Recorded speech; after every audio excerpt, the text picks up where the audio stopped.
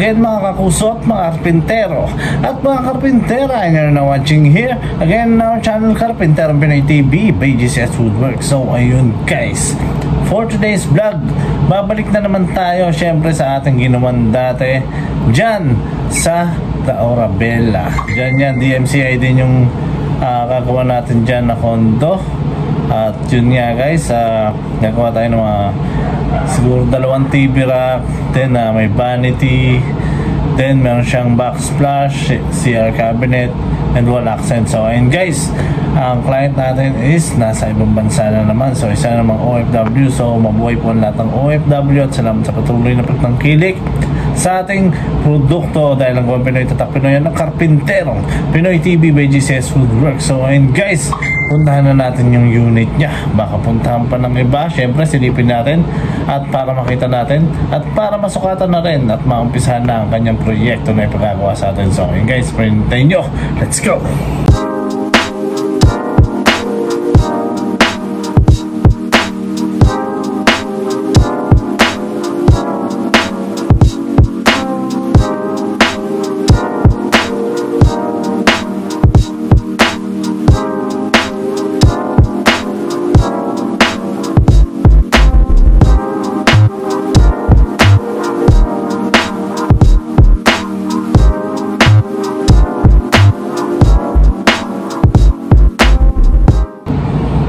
So ayun guys, napuntahan na nga natin ang kanyang unit at nasukatan na rin natin at yun nga yung papagawa niya ay nasabi ko na kanina. So ayun guys, proceed na tayo sa disenyo ng sa ganun is maumpisahan na natin at matapos natin ng maga ang kanyang pinagagawa at yun nga, sana ay magustuhan ng ating client ang ating gagawin sa mga tigo Arabella dyan. Ano pa hinihintay nyo?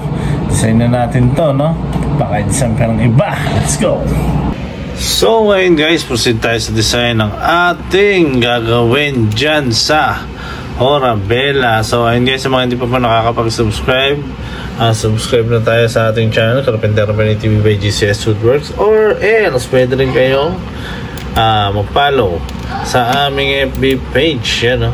FB page natin guys. So follow lang kayo dyan sa mga hindi pa po nakapag-follow. So ayun guys, proceed na tayo sa ating design. So, ito yung guys. So, ito yung gagawin natin yung guys. Meron siyang TV rack. Diyan sa kanyang living area. So, meron din tayong TV rack sa kanyang bedroom. At ito, meron siyang vanity dyan. And syempre, yung kanyang CR cabinet. And may mga additional siya dyan na hindi na natin na-include dito sa design. So, ayun guys. Ano pa hinihintay nyo? Simulan na natin. Bak, simulan pa ng iba. Let's go!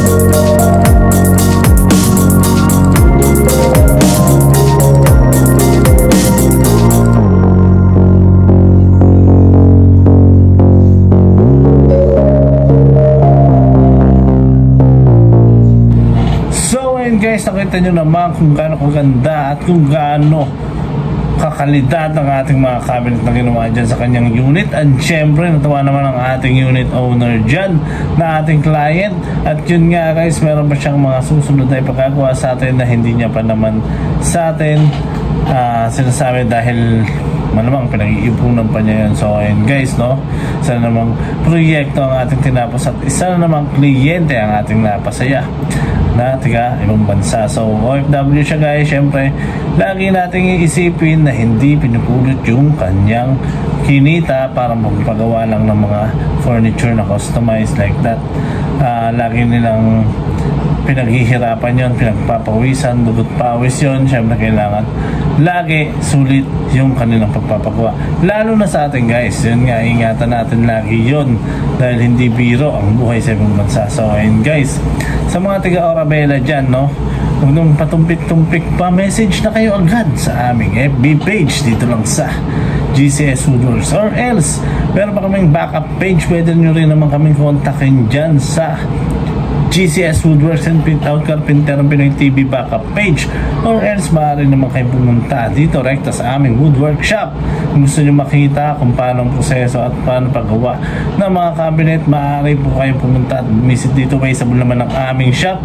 Dito lang sa GCS Woodworks and Print Out at makakarating kayo dito.